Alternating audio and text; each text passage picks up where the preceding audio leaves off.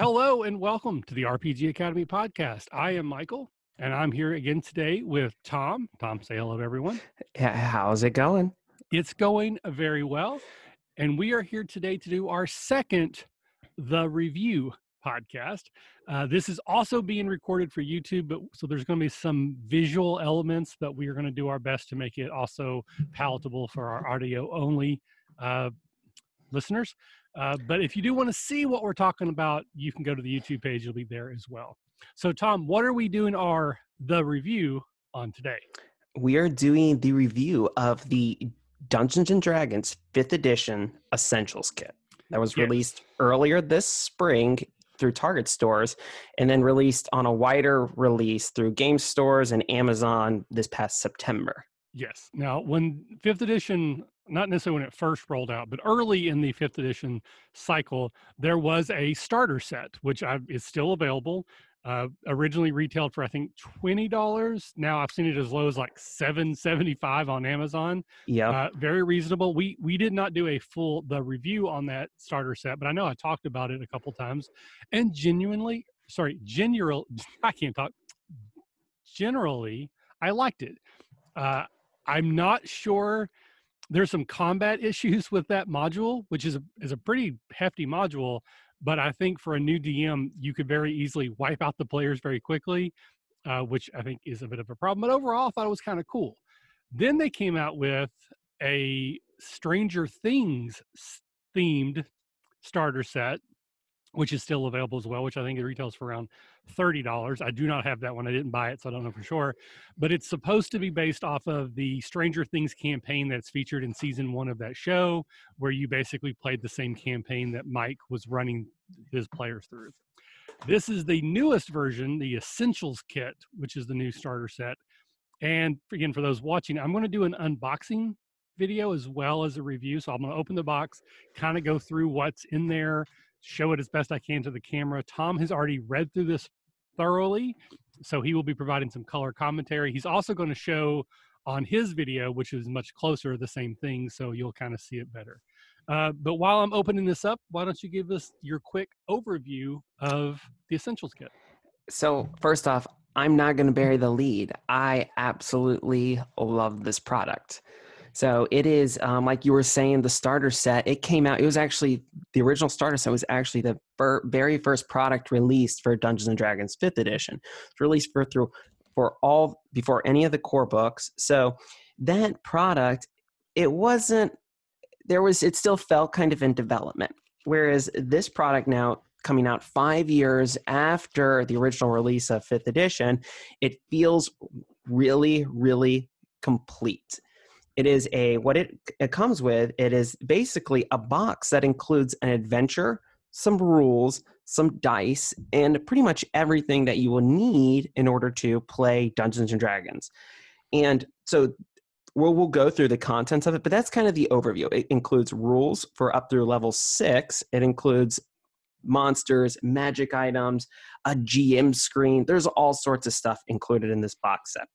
And again, it's twenty five dollars, twenty now. Twenty five dollars in game stores, which that is an absolute steal. But don't actually steal it. Okay. Don't steal it. So I've now opened my copy of the box. I've I've laid on the table. I'm opening it. Um, first thing I wanted, just my first general impression is, I think the art on the cover is pretty awesome. I would say it's BA. Uh, again, for those of you who are listening, it shows a it, it's a white dragon, but it looks almost emaciated. Like at least in, to me, it looks like it's very thin and almost bony. Uh, it appears to be on like a top of a mountain covered partially in snow and there is a looks like to me a female elf wizard casting some sort of magic missile as well as a halfling uh, that seems to be fighting the dragon as well i think that's pretty ba and especially if you're d&d dungeons and dragons right on the cover they're not they're not burying that lead either. There's a dragon right there. No, it's a very it's some really cool art and I will the art in this is other we'll dive into that, but generally the art is really good in here. The it's I'm pretty sure they used the same artists for the that that was that did a lot of the um, player's handbook as well as the the starter set. So I'm not sure what their name is, but it's it's all very reminiscent. The one thing I will point out, the reason that it looks really like you said, emaciated and bony. It is actually a young white dragon. Oh, so okay. also so some so spoiler warning here. So there's a young white dragon in this. So which is really cool too because like the original starter set there was a young green dragon. So they really it really wants you to early levels of Dungeons and Dragons, you can still fight dragons. So Right, and that's something I've done as a DM when I want my players who are lower levels to fight dragons. I usually throw a, a sick dragon or a young dragon at them so that it's not just a we have to run away or the dragon's going to kill us. Okay, so so I've opened my set. So the actual thing that is on top is a set of dice. These are red polyhedrals. If you are familiar with D&D or role play games in general, uh, you're probably already familiar. It looks to have all the fan favorites you would expect. You got your D4s, you got a D6, actually got th- four D6s. four D6s. So a full set of D6s. full set.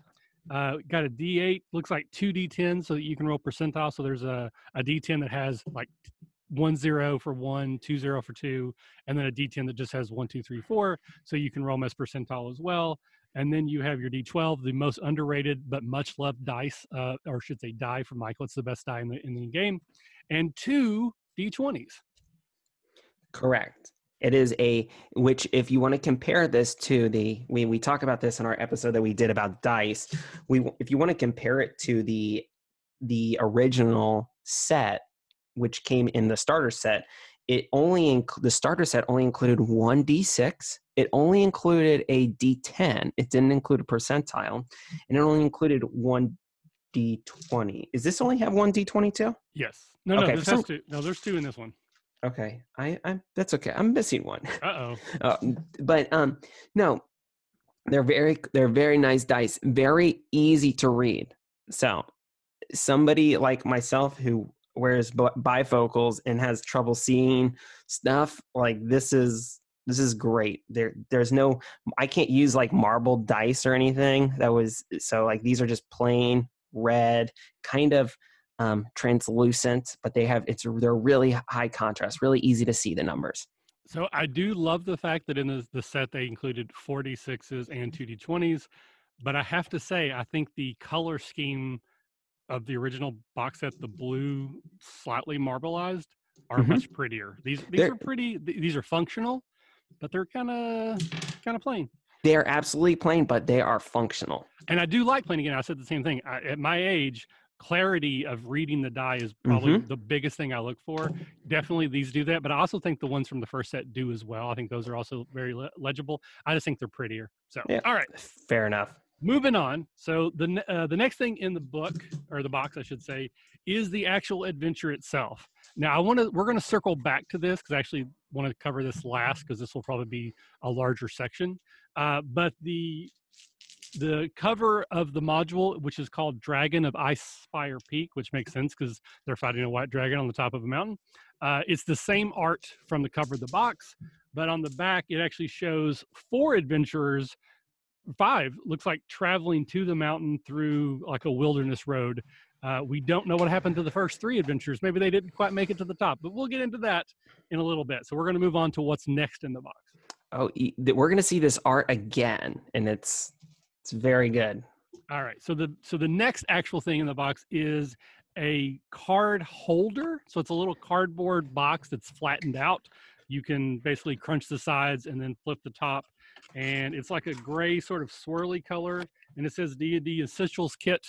Tom is holding his up to the camera, so it's much easier to see. Uh, so I'm going to assume that there are some cards later in this box that are going to fit into this box. There are a whole lot of cards. Excellent. So, All right. Speaking of which, You may have them in your hand. Yeah, the very next thing is a sheet of paper. This is like cardstock perforated. These appear to be initiative initiative counters. There's nine of them. They go from one to nine, and you can, you know, bend them and pull them and tear them apart, and they will fit into that bo- box nightly, nicely. Yes. So I know what initiative is. I get the concept of these cards, but my first initial thought is, well, what happens if there's a tie? Because there's only one through nine. Michael, that means that you don't know fifth edition rules well enough. you know, that's that's not actually uh, a surprise to most. I would think. No, it's based on if there's a tie, it's usually based on who has the higher Dex. Gotcha. So, So no, but what I fair assume, question. So, what, but what I assume here is that these cards don't actually relate to the numbers; they just re- relate to the placement. Yes. So you exactly. might roll a twenty-five for initiative. I don't worry about the twenty-five. I just give you the number one card, assuming Mm-hmm. that no one has higher than twenty-five. So you don't actually need duplicates because once you've broken the tie, you just give them the card that they're fourth or fifth or fifth or sixth. Exactly. Exactly. Which is these are great cards. They remind players um, what order they're in. It's a big number. It's just a number on it. Gotcha. So, uh, you know, and we've talked in many episodes before, different ways people do initiative and track it. Um, do you think these these cards are actually a good and functional way to manage initiative at your table? Yes, personally for me, um, I do. So actually, if you want to go to my Twitter, I actually, when this came out in September, I have a long tweet thread where I do my my unboxing and get, took good pictures of every single component, and I talk about these cards because I love initiative cards, but I like tent folds. So basically, what I'll have is almost like a uh, just a small card that I can fold so it stands up. These don't fold. And I'm like, one more, one more close. fold. You all were so close. You could have done it, but no, these are really good ways to track initiative. All right. I, I again, I think this is probably designed for people who are new to the game, either new to the hobby as a whole or new to D and D. I think they're very, very functional. Myself, I don't think I would use them unless I was playing this game with young kids, like my kids who are now eight and nine. I could see me using it with them. I think if I'm playing with adults closer to my age, I I don't know that they would be as useful to me. But again, I've never actually used them. I don't know. Maybe they're great. Uh, I don't dislike them. I love the idea of them. I just don't know if there's something I would actually use at the table a lot.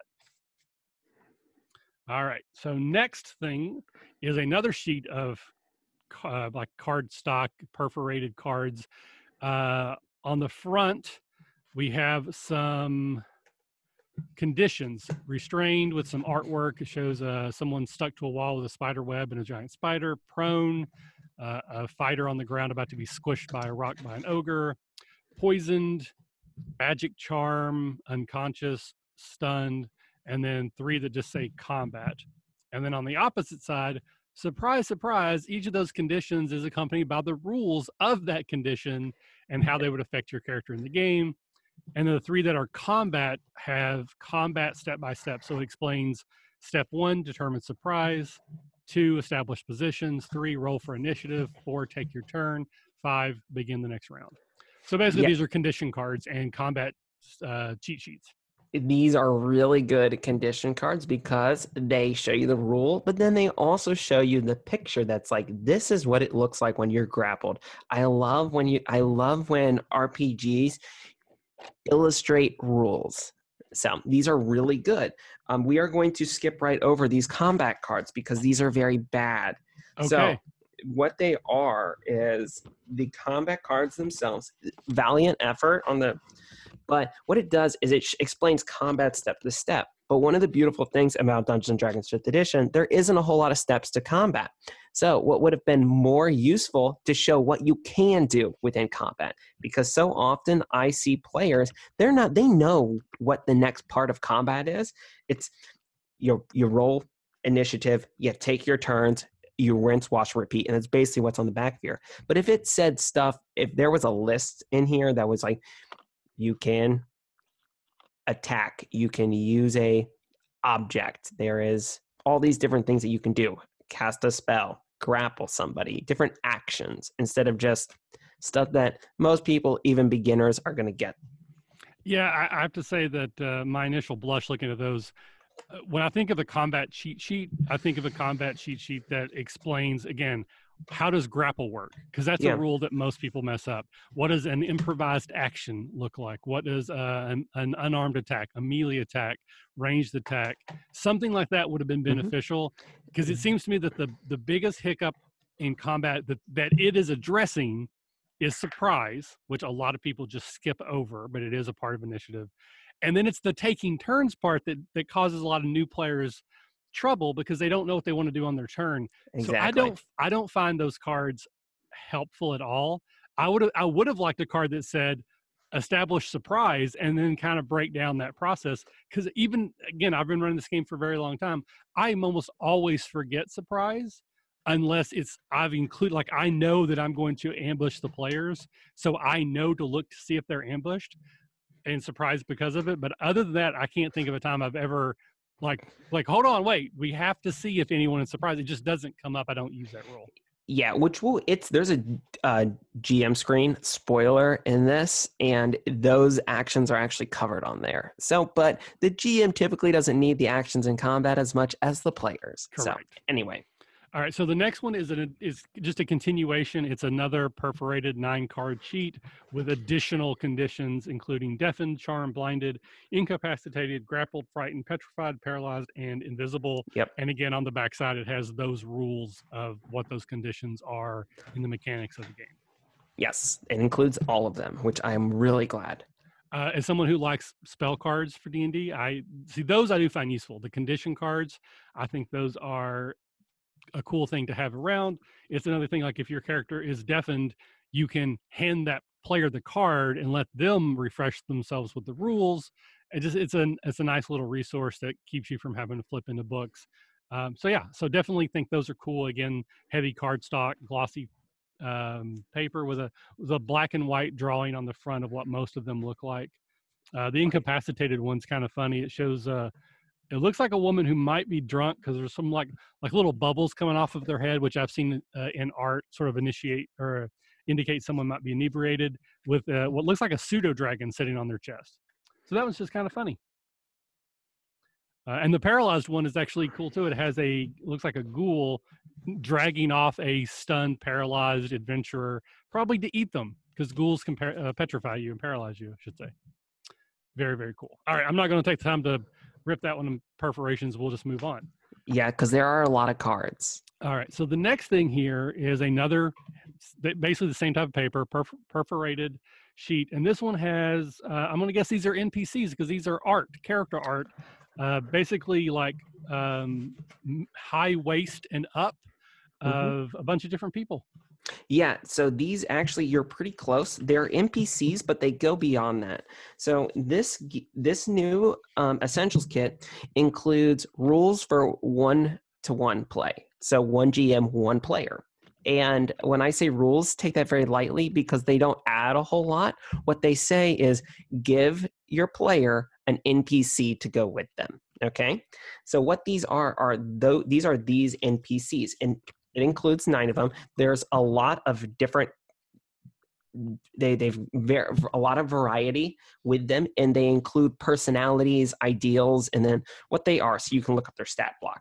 But that's the one of the things if we were ever going to touch on it people talk about hey what are the one-to-one rules for fifth edition that are included in the essentials kit there really aren't any. It's just give your give your player a npc and that's what these are so really i mean they're they're cool npcs though So I like the art. I like the NPC card, but this is a Michael thing. I would never give a player an NPC to as a tag along.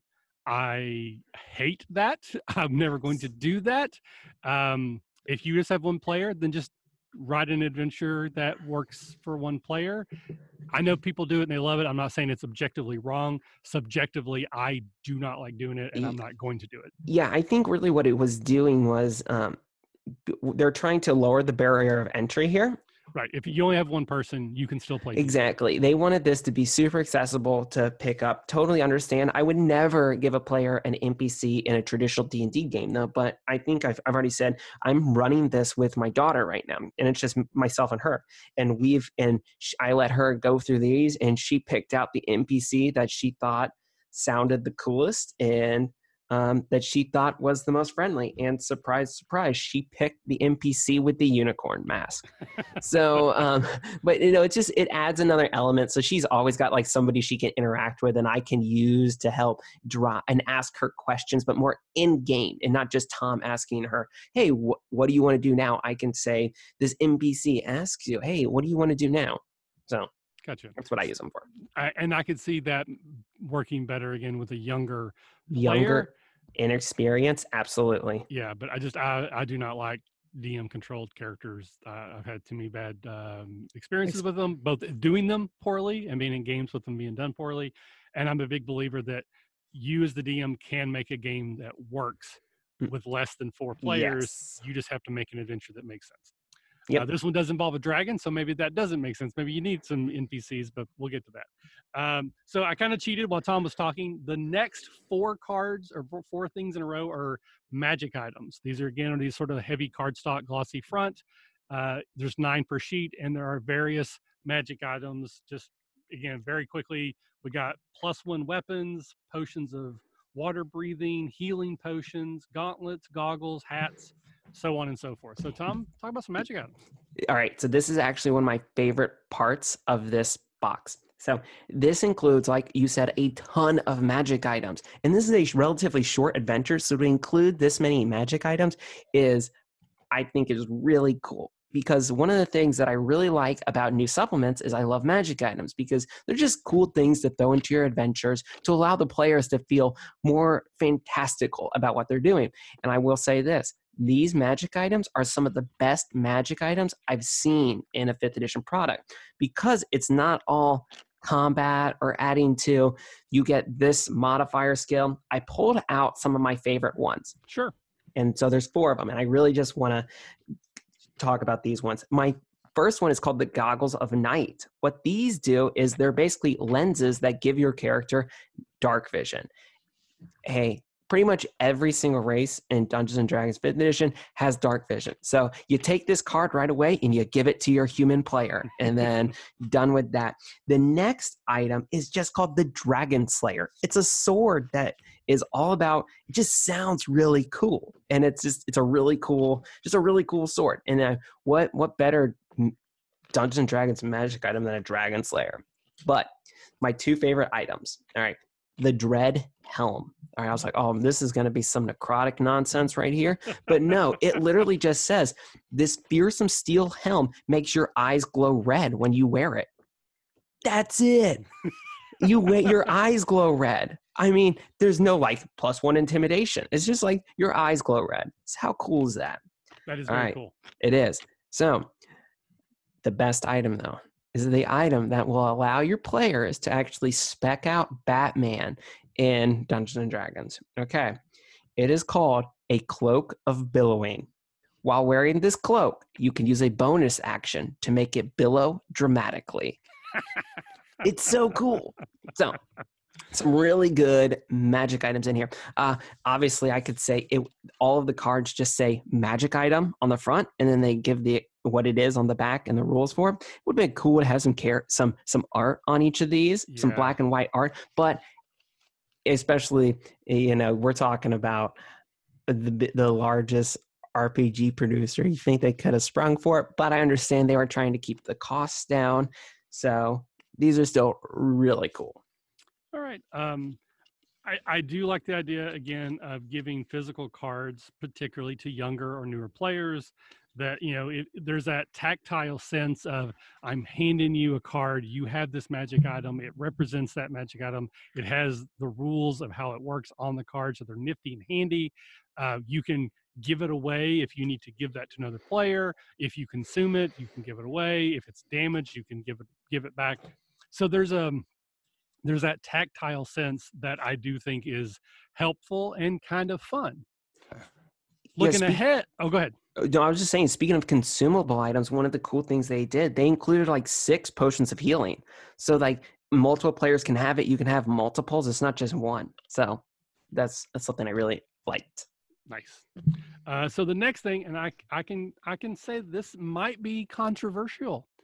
Um, it's another uh, sheet of cards. Again, heavy cardstock, glossy front, uh, perforated. It's it's a bunch of quests. So it's the I go to the job you know job board and look for quests. Here's an actual card that has those quests on it's them. yes.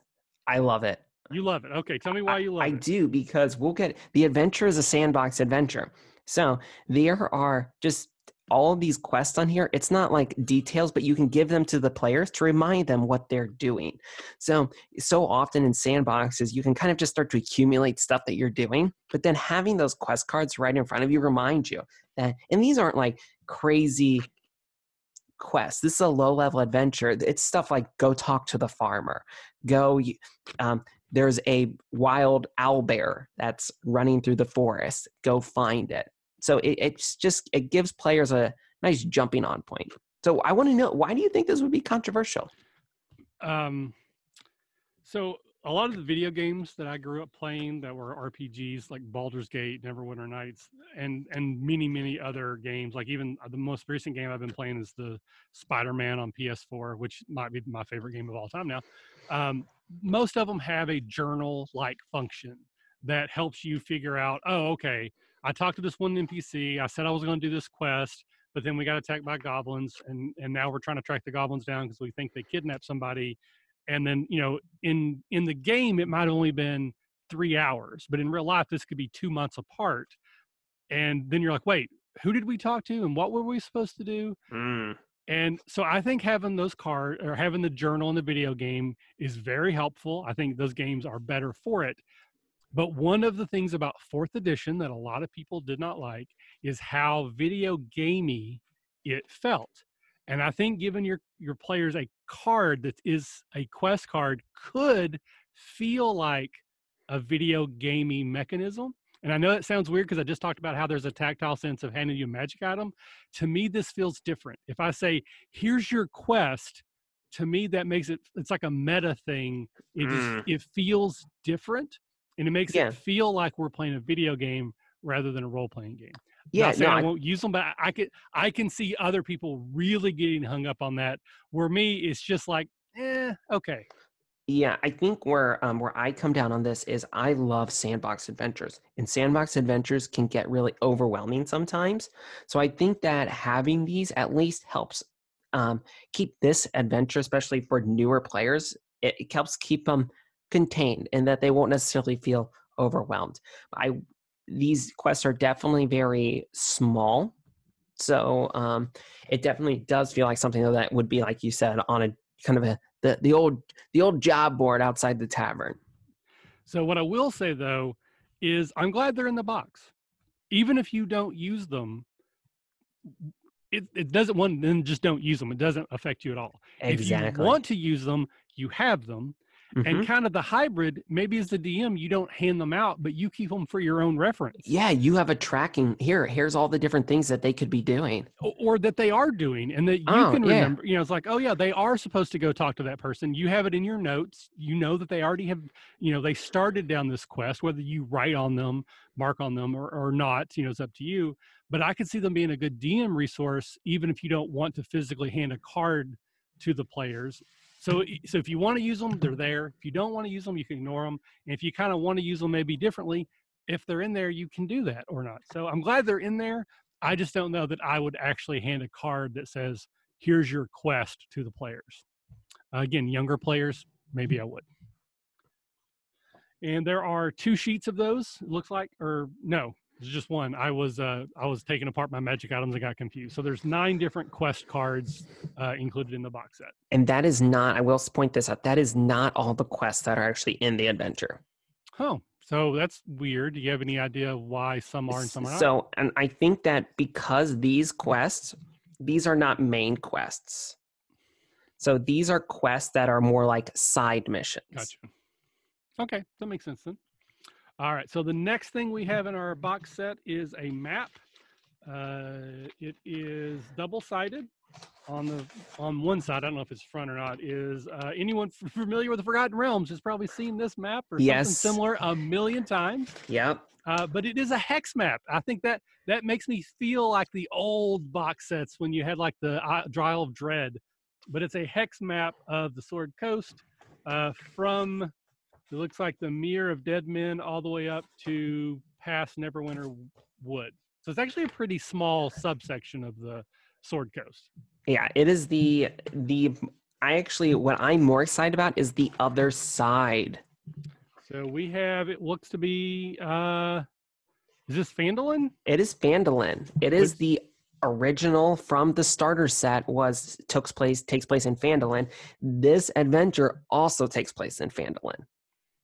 So Ah. it takes place five four to five years after the original Wave Echo Cave that was included within the starter set. So things in Phandalin have changed. It's kind of built up a little bit more. And so this was not something that was included in the original starter set. The starter set did not include a map of the Sword Coast. This one does, and it also includes. I love this map of Phandalin to just throw it down on the table whenever the players are there in Phandalin, so they can kind of see what the town looks like. And it's not like anything. There's nothing secret on here, but it's just Mm. all the public buildings. Like this is where the tavern is. This is the hotel. This is where you can go to talk to the government. And that's what I was going to say is that it has, I want to read this quickly. One, two, three, four, five, six, seven. There's only seven buildings in the town that are actually labeled on the map.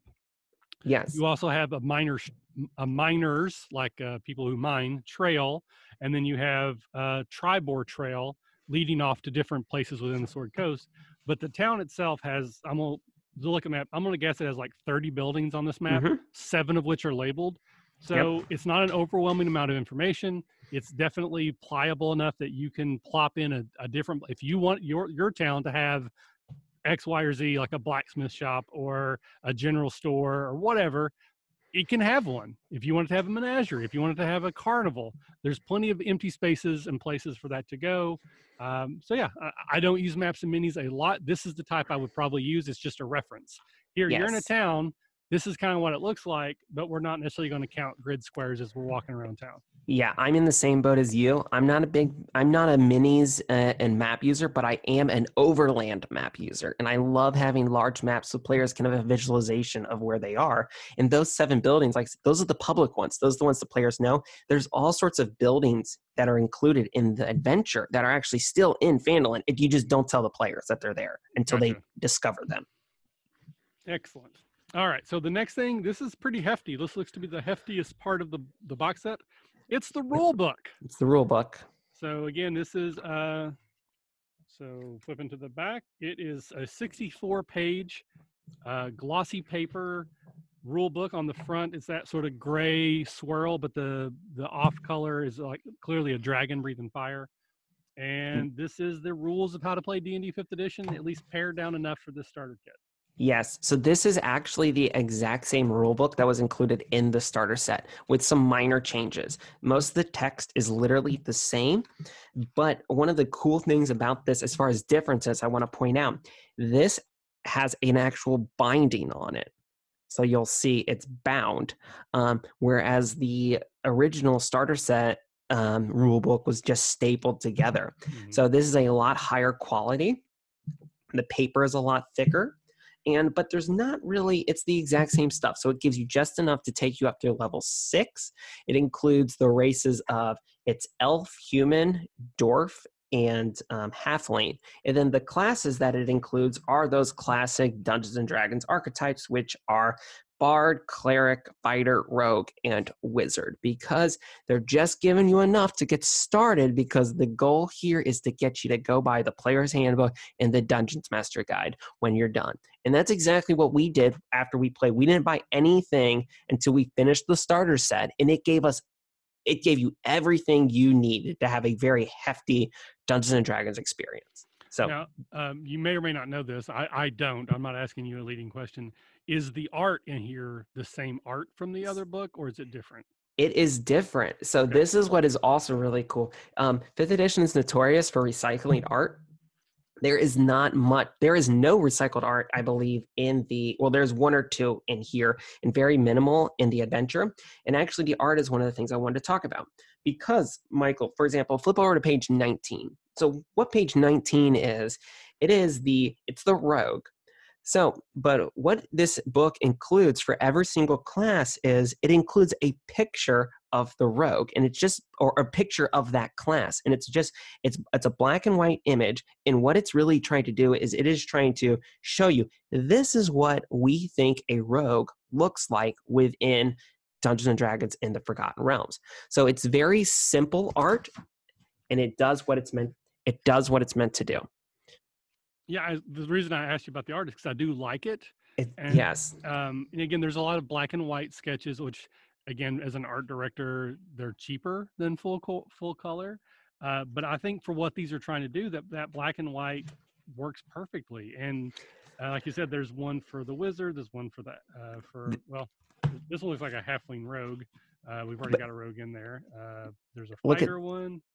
If you flip over to the actual rules, they include art for different rules too, such as cover. So it includes, for example, a couple of gnomes behind crates and barrels, and it's displaying, hey, this is what half cover looks like. This is what three quarter cover looks like, and they do that for several other rules too. So it's not just like it's it's not this whole um, what what is what is three quarters cover. Mhm. Um, that's on page 37 if you look at that and that's only one example of of times when they do go ahead and show um, rules through art Yeah, you you touched on that. I just want to throw out. I, I've said this before, but if anyone has ever read the Atomic Robo rulebook, which is a, a game that uses mostly Fate Core, it is by far probably my favorite RPG book that uses art to explain the rules.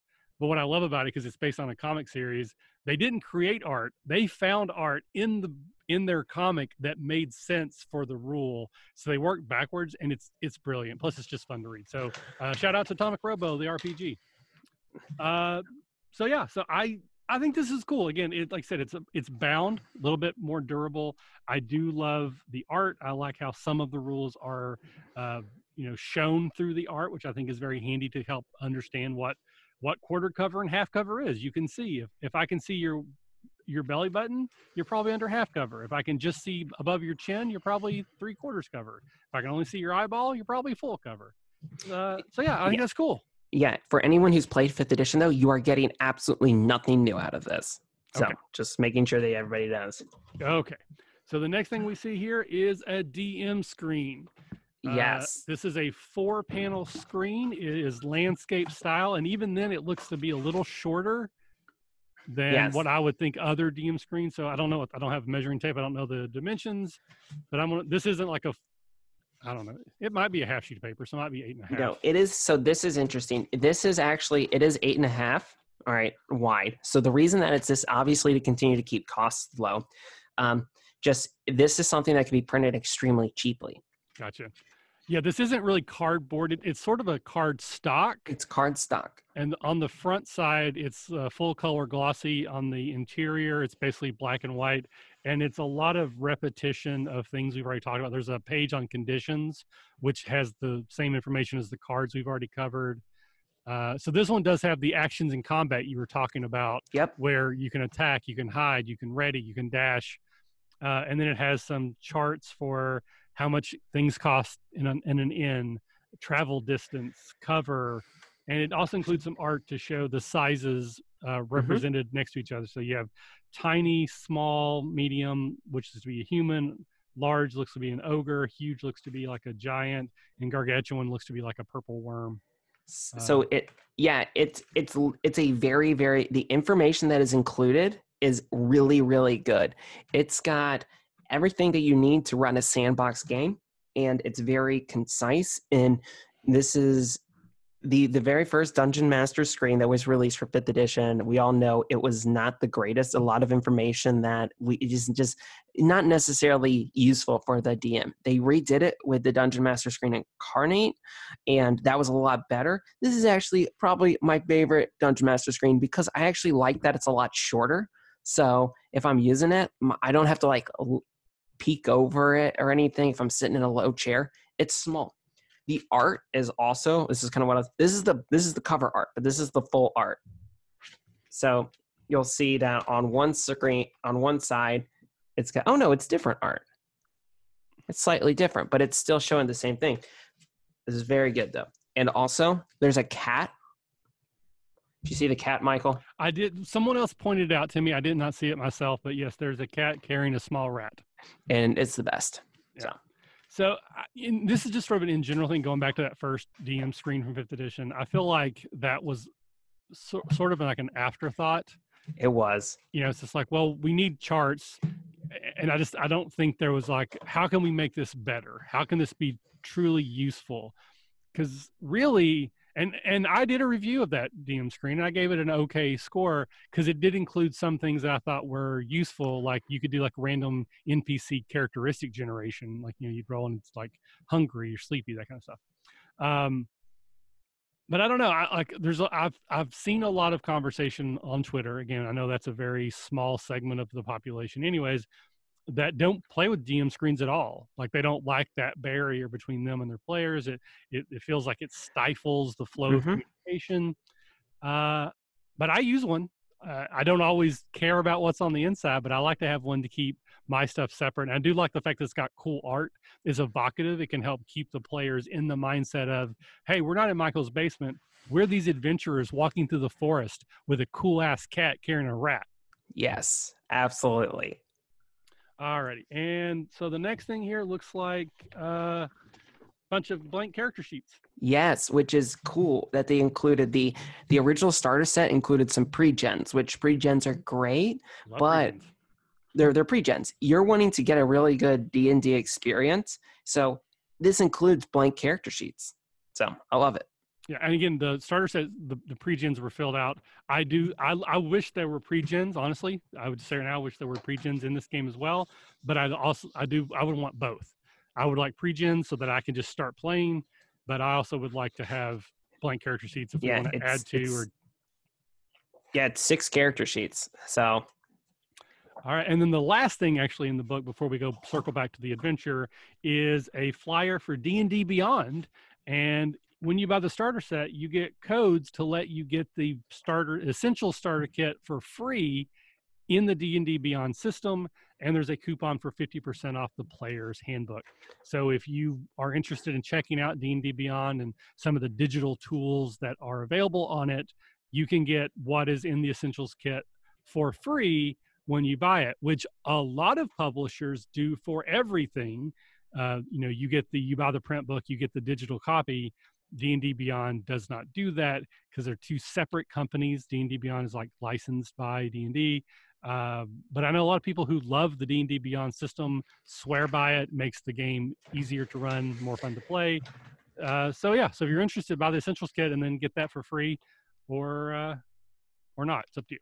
I'm pretty sure I totally just flashed the codes for mine on the screen. So I will never use D&D Beyond just because I, I'm not really a digital person. So if you go pause that video and snag those codes, more power to you. First first one uh, gets them.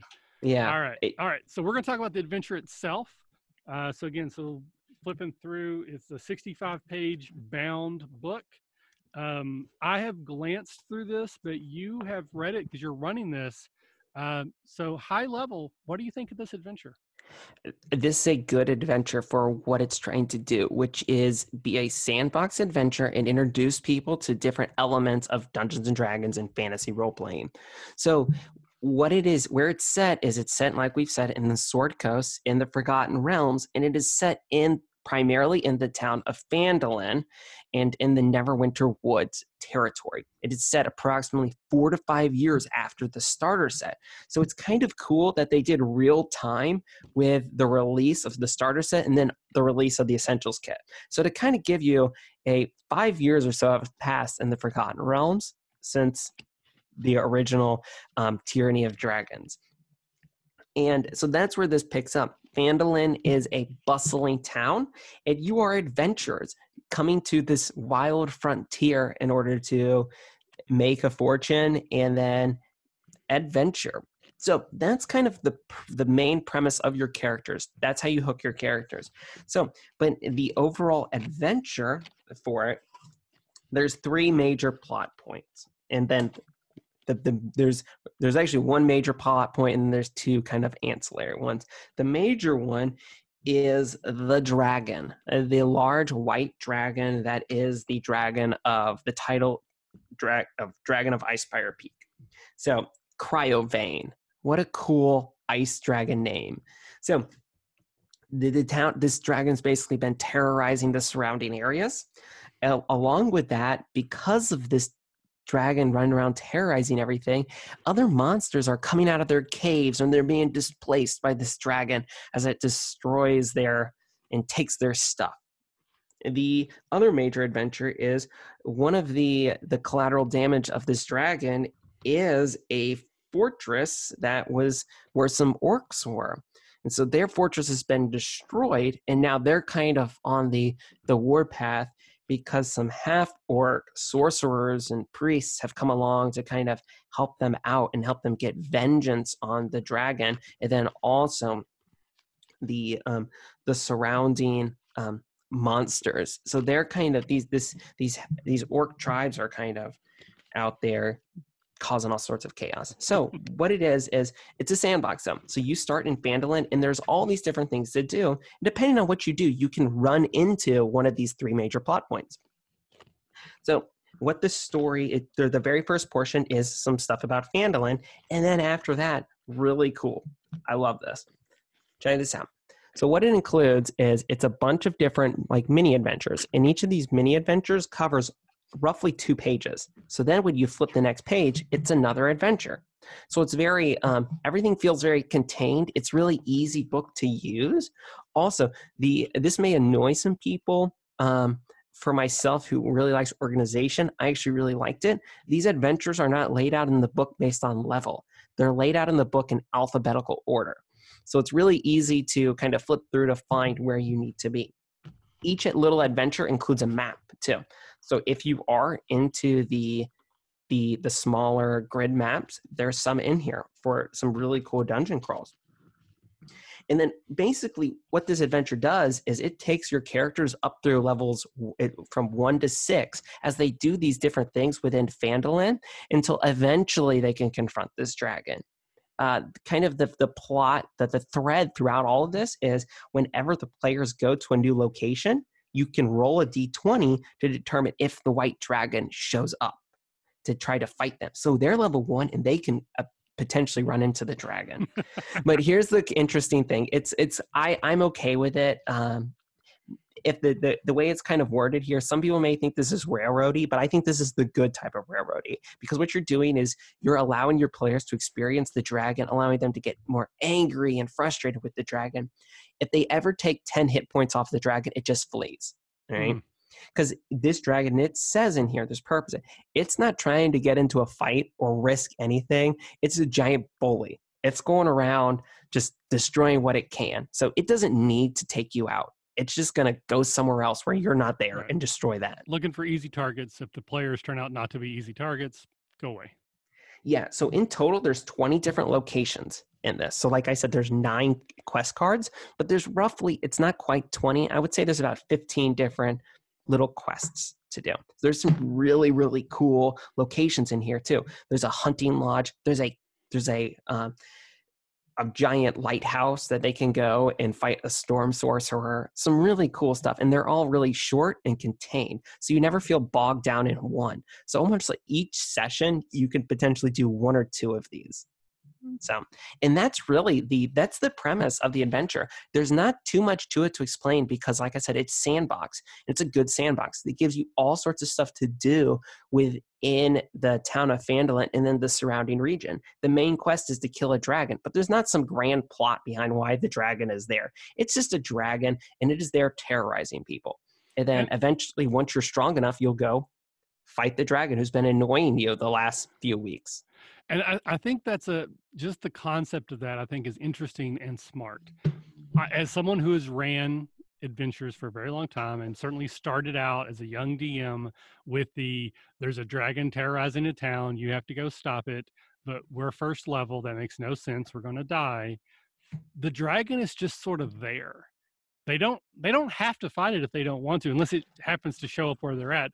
Like it's causing other problems you know it, it's almost like an um, environmental effect Absolutely. you don't have to fight the rainstorm but the rainstorm is why the orcs had to leave their valley and now you have to deal with the orcs in the mountains. Uh, the rainstorm is why you know the, the food got washed away or whatever it ruined the field so people were hungry and that's why the thieves guild is so active i, I like the fact that the dragon is sort of the um, the impetus and the, the reason behind the other little things or a lot of the other little things that you'll deal with and you might eventually get annoyed like, well, like crap this dragon's causing problems we need to deal with it but it's not like your quest to start with is young adventurers go kill a dragon and i think that's smart design yeah, it's really cool. And the thing about it is this, like I said, the dragon will just show up and it's it's so it, it, makes it really feel like the world is lived in because you're running into these npcs not just in one location but in other locations in this region and it really has that that's why i really like curse of strahd is because it's like this in the sense that there's all these cool different locations that your players can go explore. There's a lot of variety to them. Like i said a lighthouse. There's this weird gnome village that has like mushrooms and wild magic effects everywhere. There's the obviously the the Icespire fortress where the dragon is. It's this like ice castle it's really cool. There's lots of locations that there's not monsters too. It's not just they're all monster locations. There's like a hunting lodge where a band of rangers live. You can go ask for their help or get information about the forest. Uh, so there's a lot of cool stuff and a lot of stuff I like here. All right. So let's uh, let's give our our ratings. So if I remember our rubric that we came up with, uh, one of the first thing is like layout and design. Yes. And there's art, then there's fluff, there's crunch, and then there's overall. Is that is that all yes. Yes. So right. mm-hmm. let's start. Let's start with art actually. So what rating would you give the art in the essentials kit? Okay, so the art. So I'm gonna go ahead and give it a B plus. All right. Okay. So B plus is it's that's good. There's a lot of great art in here. I love the black and white art, but the thing that kind of drags us down from an A is the interior grid maps they're not the greatest all right? They they look almost they look very digitally rendered um, almost um, it's it's they're just there's not a lot of texture to them. They're very one note. So i understand like i said there's 20 locations. Each of these locations has one or sometimes even two of these grid maps. So there's a lot of maps in here but they're just i don't think they're necessarily up to the standard that a lot of the really good maps of fifth edition have been. All right uh, so interestingly enough, I actually was going to give it an A minus. Uh, I don't really care about the grid maps because I don't use them, so that didn't really, you know, affect my my, my thought process. Um, I really like the art. The reason it's an A minus and not an A or an A plus is more for what's not there. I like what they're doing with art, but I think they should have went into that. You know, like you said, there should have been art for the magic items. I would have liked to have seen art for, uh, you know, all the conditions. They don't all have them. I would like to have seen art maybe for some of the quests. Uh, in the book, I, w- I really like the rules being explained in art. I would have liked to have seen more of that. So it's an A minus. I think it's really, really good. But had they done more, it would have been better. Yep. All right. So layout and design. How functional do you think this is to actually use it at the table? Uh, this one is getting an A from me because it is very it's very usable. Um, there's lots of great charts in here, lots of indexes to tell you where to go. There is, I mean, come on, on the very back there's a map key. To, there's lots of great stuff. The adventures are all laid out in alphabetical order. Each adventure only covers a page like so a, a, one single page so you're not flipping during an adventure, you open it up and there's everything you need to run this section of this campaign. So it's very, very useful. The cards themselves are laid out really nicely. The Dungeon Master screen is laid out really nicely. So, A for me. Um, I would give it an A as well, basically for all the things that you said. Just to clarify, in case anyone's confused, when you talk about the adventure being on one page, you actually mean two pages side by side. So when you open up the book, yes, left and right page are the adventure. Yeah. So I mean, page. yeah, exactly. So like for example, I'm holding up right here. This is a, a you, you, open up the book, you lay it on its spine, and there's a full adventure right there. So yeah. uh, I like the cards. I like the layout. I like. I just like how it's presented, and I'm going to say because they give you a free copy of D&D Beyond of this book. I think that's I mean, I know the, the goal is to get you to buy stuff. Like they're just trying to get you to spend money, but they're giving you a free copy digitally. So you can go and play around with that system. It gives you the access to it. um, it's an A. It's it's just about as good as it could get. Very very happy with the uh, with the layout and design. Mm-hmm. All right, Crunch. You want to go first for this one? What do you Um, think? I, it it's the rules. It's it's not anything new. It's just a you know replication mostly of the rules that already exist that you can get for free online, or if you've already bought the DMG or you already bought one of the other uh, kits. So I'm going to give it a B. It is what it is. It is supposed to be. Uh, maybe maybe slightly B plus because there are some elements of art explaining the rules which I like, but there's not as many as I would like. Um, but it's functional. It does what it's supposed to do. It's it's not bad, but they didn't really do anything more with it either. So solid B for me. Okay, so it's gonna get a it's gonna get a C from me. Um, and I even thought about giving it a D. Right, so Harsh. he- he- because here's the thing, it doesn't include anything new, like you. And the rules for fifth edition, I mean, they're they're they're they're good for what they do. But the thing that drags it down really far for me, and this is just me being super salty, is that one of the things that they talked about so much was like, we're going to include rules for one to one play. And I'm like, cool, new rules. And then they're just like, yeah, give your player an NPC. There you go. That's one to one play. I'm like, that's you didn't do anything. Like all they were trying to do with this, which I they were trying to get people who didn't really need this. They know what D and D is. They're trying to get them to buy it because it's a. They're like, get these new rules. And it's not. It is give them an NPC card and there you go. So there is absolutely no new rules in this. Okay. All right. Fair. Fair enough. Yes. All right. And then Fluff. What do we think of the story? Now, I've I have. I mean, I've, I've been somewhat cheeky. I've actually opened one of these before, so I've kind of flipped through it. Yep. Um, But you've read it more in depth than I have. What do you think of the story behind the adventure? I really like it. Um, I think it's great that they continued off of Fandel, the Lost Mines of Phandelver, because that was a very good adventure. It's very nostalgic for me because I it was my first um, Dungeons and Dragons campaign and product I ever bought and ran, and they take a lot of those elements and they build upon it. And it's interesting for the. There's lots of cool stuff in here um, a lot of problems that I've had with some of the recent fifth edition releases have been that they all kind of felt very samey in onenote. And this does feel it's a fantasy adventure. So you're like, what is new or different about that? But they really understand what a fantasy adventure should be, and everything feels unique when you're going through it. And none of the different locations feel the same. So there's lots of variety here. And then come on, fluff, some of the, the magic items that they include the billowing cloak gets as much the highest fluff rating ever. So this is getting an A plus. All right, I from want to spend my bonus action to flutter my cape dramatically. yeah, I know. How cool is that? That is the definition of good fluff. Nice. Um, so I'm going to give it a B plus for the fluff. I, I'm not a person who runs a lot of ma- modules, Mhm. um, so I'm somewhat weighted against it to start with. But but what I have read, I really liked. I think it's a great starter adventure, which is exactly what it's supposed to be.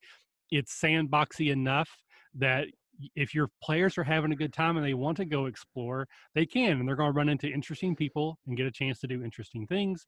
If they are more focused on the quote unquote adventure, they can go there as directly and as quickly as they want, though that might kill them because they're not going to be high enough level. Uh, but again, that's that's their fault. But I think it's a good starter story. I don't think it's a great story. I think it's a good starter story.